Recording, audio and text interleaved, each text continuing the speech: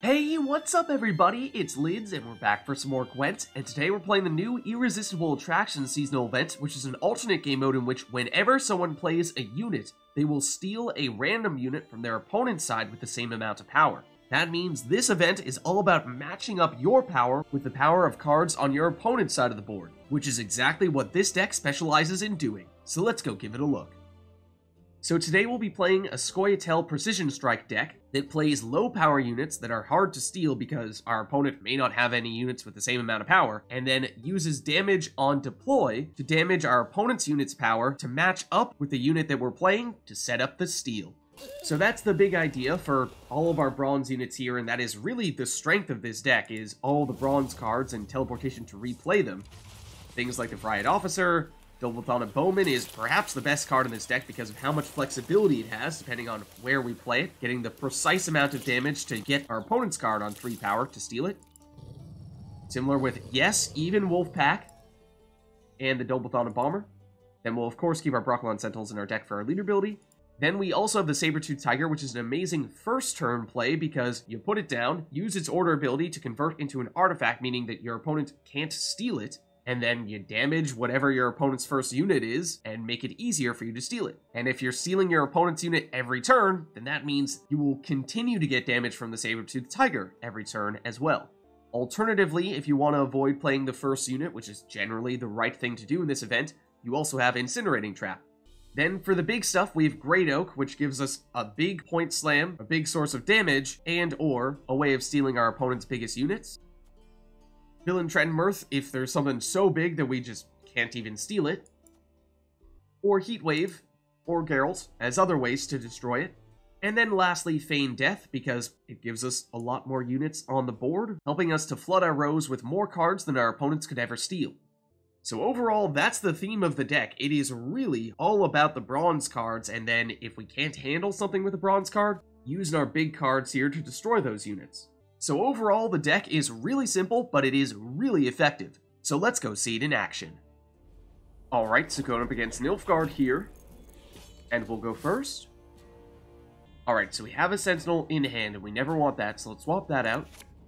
And then we also do have the Saber-Tooth Tiger in hand, and that is great, because that is our best first turn play. And as useful as Necromancy might be in the future, it's not super helpful in round 1, so let's dump that and Villentretenmerth, along with Geralt, give us answers in case they play something really tall. In fact, that's what Heatwave is here for as well.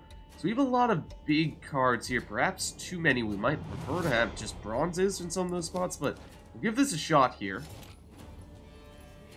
So let's start off with that Saber-Tooth Tiger. And this is so great because although it is, of course, a unit, if we use this order ability here, it transforms into an artifact which cannot be stolen, which is usually one of the biggest downsides of going first.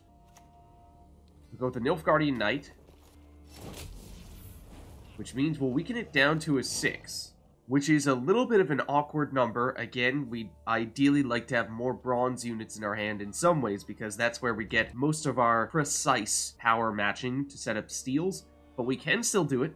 If we go with Royal Decree here, to get a Dol Blathanna Archer, because although this is a 5, if we play it in the range row, we can damage you by 1, uh, and we, I suppose, do have to hit the Saber-Tooth Tiger. However, we can transform that Saber-Tooth Tiger, and the damage is negated. And now it's Kingslayer, which is a little weird. Because, of course, that is a mill card. I think what the purpose there was, is they're trying to encourage us to steal this so that it goes on our side, it gets spying, then they can use either Grace or Duchess's Informant to create another copy of it and continue to mill the rest of our deck. So let's not help them in doing that. Instead, we could destroy it with Dol Blathanna Bomber or with a Vrihedd Officer. And we have two Vrihedd Officers, so I suppose we go that route. And swap around the Saber-Tooth Tiger. And now, yep, exactly, it's Duchess's informant, so I think they were trying to go that route. And now this is one of the reasons why our deck is usually really good against Nilfgaard, is because since we have all this damage, on deploy from these cards, it's usually not as simple as them just creating a copy and being able to steal the card that we just played. However, unfortunately, we had several cards at 5 power, so they damaged one and stole the other. However, that's what we can do here. If we go Caravan Guard, we can damage one of these guys and steal the other. So, let's do that here. Don't think it matters too much.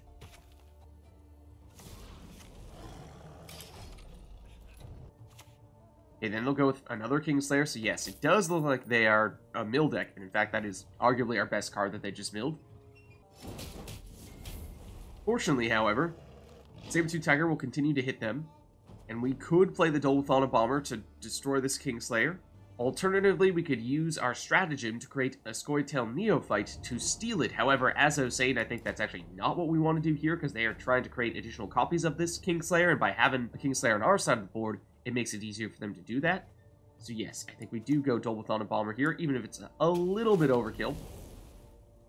And then that might be the last card that we play, so yes, we would have ideally saved this for stealing more of our opponent's cards, but just didn't seem like that was actually the play on this occasion.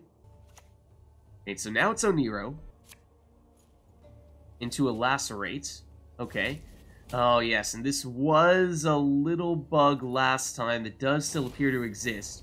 When you play a special card, you will steal a 1 power unit from your opponent's side of the board if there are any. And we did have that Duchess's Informant, so they took that, as well as the Caravan card. And so that's what we saw happened here. Fortunately, it is not enough for them to pass us, so we could potentially still end the round now. We're not stealing any of these 1 power units unless we heat wave one of them which is uh, not really what I'm thinking we want to do here. So it's a little bit dangerous passing in this round because usually, yes, your opponent is capable of pulling off a pretty big point swing, and they do have one there. Okay, so we have a Dol Blathanna Archer. That is great for stealing cards, and Necromancy to play one of the cards that we used in round one to help us steal some stuffs. Got Oniro as well, very useful. We still have some big stuff here, like Villentretenmerth, Geralt, Heatwave, Feign Death, which we'd like to save for round 3. I imagine they'll probably dry pass here, and just lean on having Last Say in round 3, in which case we'll use round 1 of Oneiromancy as our throwaway. Okay, and that is what they do here. So yes, let's go Oniro, and just play whatever our most disposable card is, and it's probably either a Wolf Pack, or a Dwarven Skirmisher, sure, we'll win this round by one point. We won't even play it in the melee row. Take that. So we'll win round two. Okay, so we drew into a Brokilon Sentinel. Never want that. Dol Blathanna Bowman is really good, though. The trickiest thing for us here is we're going first, which is generally going to mean it's easier for them to steal our cards, and they have last say, which is really big in this event because as we saw in round one, if you get the last card, you're probably stealing one of your opponent's units, and that may very well be enough for you to take the round win. But I think we roll with what we have here, and we either begin with Feign Death, which will spawn in a Vernossiel's Commando, which will get boosted by 1, getting it up to 4 power at the end of our turn, which makes it very stealable. However, the scenario itself is not stealable. However, the scenario itself is not stealable. That's one option. Alternatively, we could go Oniro into an Incinerating Trap, which is a way of avoiding playing the first unit, which is generally what you want to do, which is probably the safe play. Would love to save Oniro for Great Oak, but that just doesn't look like it's going to work because we really do need a first turn play here. So let's go Incinerating Trap. Okay, they'll go Ard Feainn Tortoise, which will take the hit. Unfortunately, we won't get anything boosted when we get rid of its armor. However, it now means that they have the first unit on the board, which is really nice. Because that means we can do something like play the Dol Blathanna Bomber, damage it by two, and steal it. So we'll definitely do that here.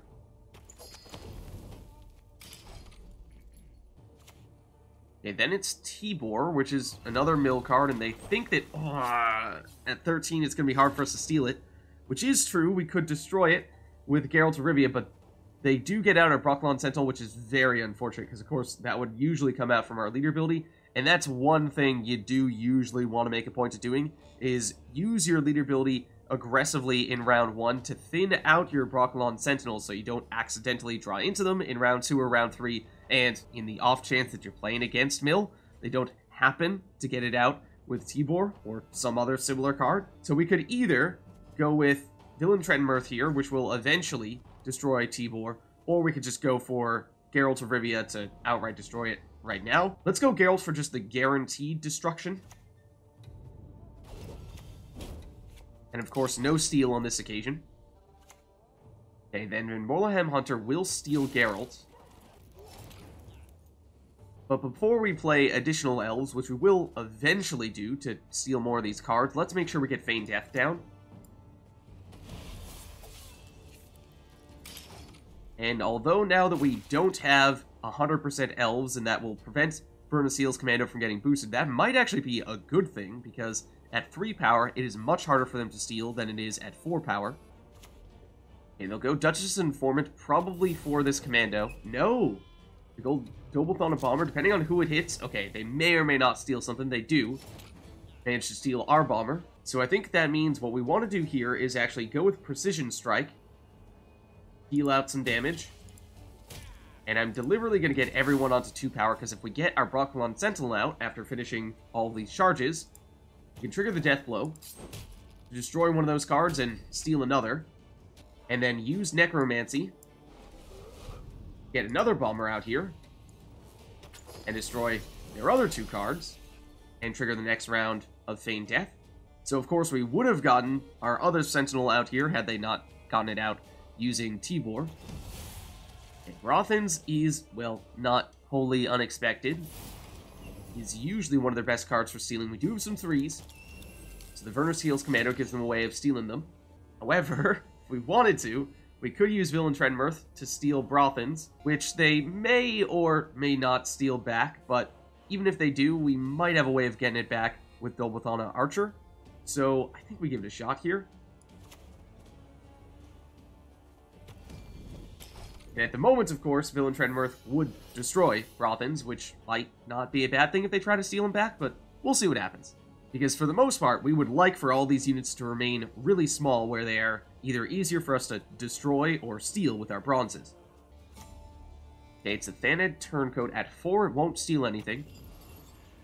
It'll put the spying on Villentretenmerth, which is about to destroy Braathens at the end of this turn, but Again, so be it. It gives them one fewer unit to try to steal back and get a bunch of points on their side. Again, we'd like for all units to be relatively small. And what we could do now is either play the Dol Blathanna Bowman in the melee row to poke this Thanedd Turncoat and steal it, or steal, potentially, any one of these three cards. I suppose we can't guarantee which one it will be. Or we could use the Vrihedd Officer to hit something, and we'd steal one of the remaining three power units. So why don't we actually go this route first? Since we have a little less flexibility if we go in this direction. And, oh, except I totally forgot that uh, we were going to trigger Waylay, and so uh, I was not ready for it at the end of our turn. Our turn timer ran out, and it didn't randomly target the card that we would have liked to have actually destroyed to trigger the death blow on Waylay, so my bad. Okay, they're trying to get Villentretenmerth down low enough for them to steal it, which, okay, if they do steal it at 5, we can get it back with Dol Blathanna Archer. Or just destroy with Alzur's Thunder. Okay, and again, it's technically a bug where they steal one power unit when they play a special card, but usually it's not a huge factor. So in that case, we're probably looking at a range row archer to take down both of these guys. I think we go that route. It is potentially a unit that they might steal, but if they do, then maybe that becomes our Heatwave target, or we could potentially steal it back with the double Dol Blathanna Bowman. So I think we do destroy both of those. Then it's Nero. And it's Alzur. Which does not have anyone to steal. And that is probably our Heatwave target. Technically, we could steal him with the Dol Blathanna Bowman if we played this in the range row, because that would give us just enough damage to drop him down to a 3.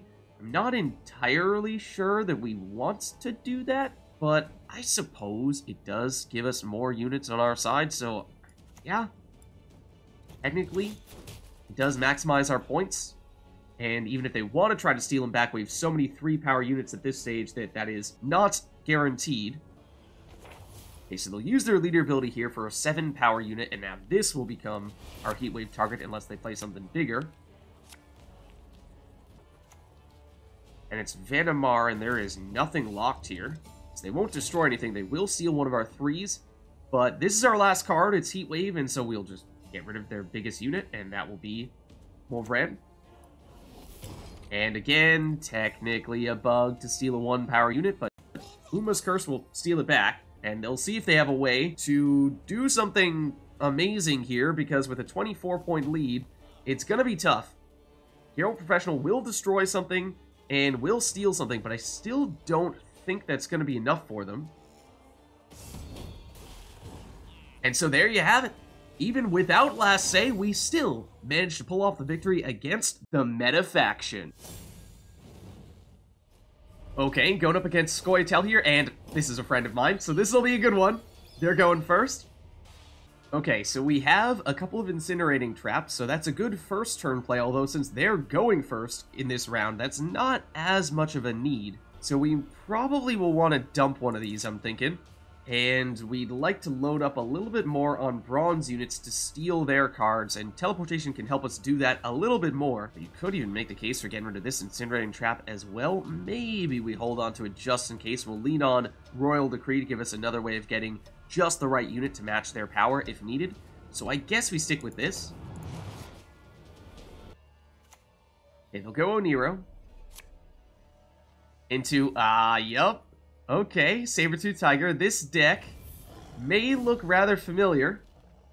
It's already looking a whole lot like a mirror match, and Saber-Tooth Tiger, I think, is a very worthy Heat Wave target, because it is so strong in this event. And then it's Feign Death, which of course would potentially be another potential Heat Wave target. But this Vernossiel's Commando will get boosted as the only elf on their side of the board, which means that, well, we could steal it with a Dol Blathanna Bomber if we'd like. So that's certainly an option here.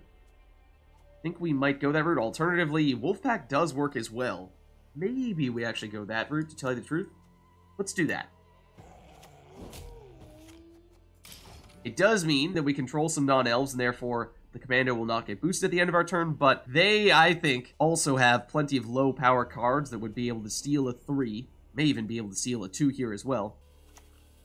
And it is exactly the card we might have expected. The Bomber it lined up really well here where they could just destroy all of our cards.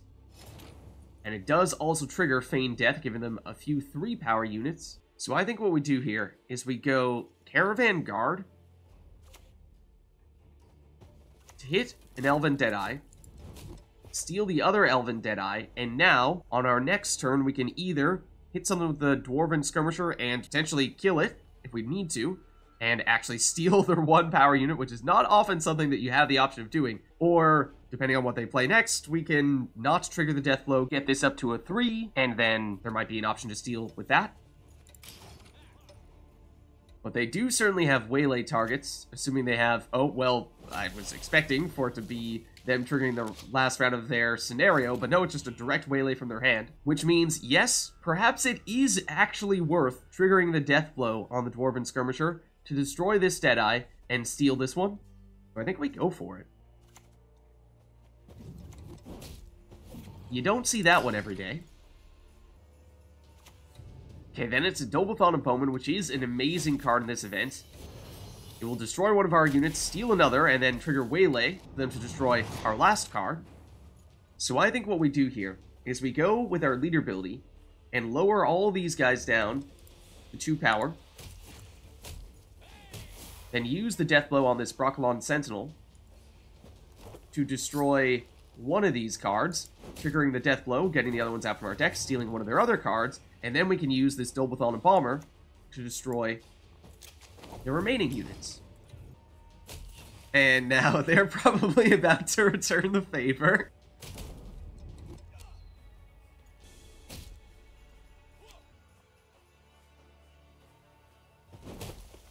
That they are.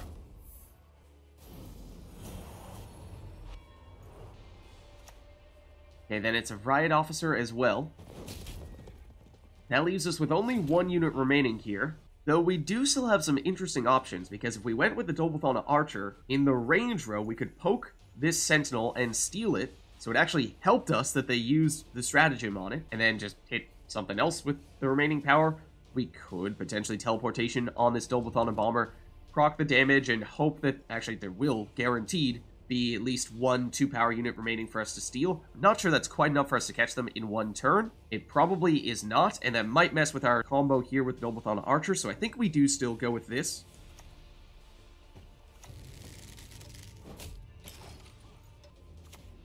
And then it's Becker's Rock Slide for just a huge burst of damage, which is just barely enough for them to retake the lead. So we do have a few options here. We could either go with teleportation to replay this and Bomber, and at this point there is a chance that it happens to hit both of these Sentinels with the damage, which would be unfortunate because then we wouldn't steal one of them. We could go Royal Decree to get a card with exactly enough damage to steal something and maybe destroy something else. So that's the safest route, although we'd really like to save this. Geralt uh, obviously doesn't destroy anything, but could steal this Vrihedd Officer or even an incinerating trap might spring it rather than ambush it to destroy one of their cards. I think we do try the teleportation, though. It's a bit of a risk, but we're going to see if it works. And it does. And it's actually a small bug that whenever you play a special card will steal one of your opponent's one power units if they have any. Fortunately, it's not the difference maker here, but it does mean that they'll pass, so we can win round one on even cards.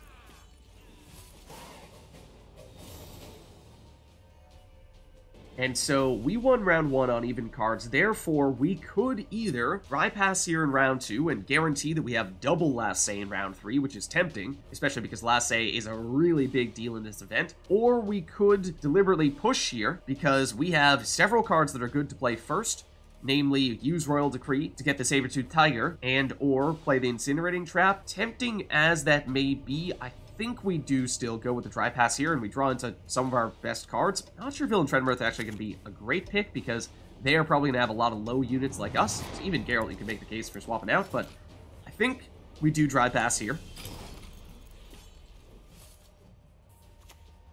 They'll go with their Geralt, so yeah, they probably have the same thought. Not going to be a lot of tall units in this game, I don't think. Oh man, and we draw into some big stuff here. Nero, Vrihedd Officer for more damage and easy stealing, and even better, another Dol Blathanna Bowman. And as we saw them do in round 2, swapping out Geralt is not a terrible idea in case they just don't have any tall units, and since we know they have a very similar deck to ours, that's probably the case. So we probably do swap him out, otherwise his best chance is to maybe steal one of their 3 power units, but that's not great. So the Bomber is probably preferable, to be honest. So I think we do stick with this. And don't go with a trap, which is a good idea for them, unless we also go with a trap on our first turn. So generally, it is best to avoid being the first person to play a unit. Oh, look at this. They deliberately discard a card, which might be the right play. And I imagine that this is also an incinerating trap, dealing 5 damage to whatever unit we play next. So we rather not play one of these bronze units that's going to get destroyed by that, and we'd rather save them for when we can actually steal a unit with them. But what we can do here is we go Royal Decree into Saber-Tooth Tiger, because even if we play this, and it is an Incinerating Trap, which it is, it can tank the damage, and then we can swap it into its artifact form, and this makes it even more potent of an early card to play because it'll deal 2 damage to whatever unit they play next in all likelihood as the only unit in that row and combine that with the Incinerating Trap and there are very few things that will survive that. Unless they Heat Wave our Saber-Tooth Tiger as I believe we did to them in round 1, so you know what? That's fair. And now what we might do is basically recreate what their strategy was in round 1 by going Oneiromancy into Feign Death or alternatively, we could go with Great Oak. We know they've already played Geralt, and they've already used their Heat Wave, so they may not have a way of destroying Great Oak. They might just be stuck trying to whittle away at it with little pokes of damage, and that might be worth trying here.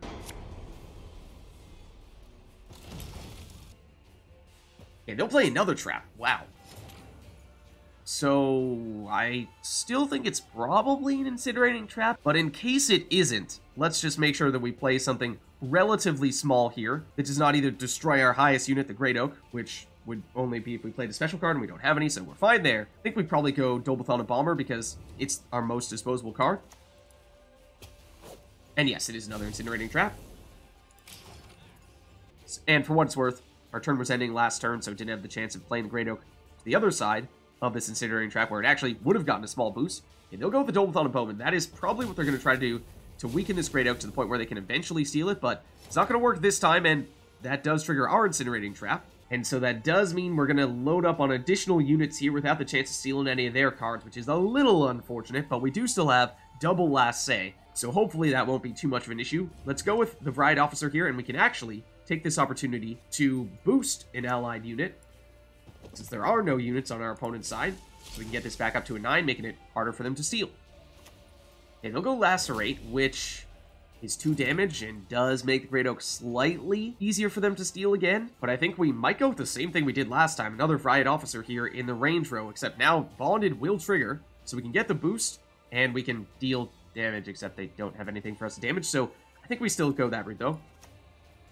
And we will probably still boost this Great Oak to make this probably tall enough for it to be unstealable, because even if we give this a two-point boost, it is probably still within stealing range for them. Okay, they'll go Double Bomber, which will not be able to steal anything. So I think we probably use our Double Archer this time to just outright remove the Bomber, and that would mean playing you in the melee row. But they might have a way to steal this. It's Oniro. Into oh. O. Bone Talisman. And again, Special cards, although it technically is a bug, do steal one power units on your opponent's side of the board, and so they do get a couple cards in the process, but we do still have the lead here with two cards to spare, and so we will take the win.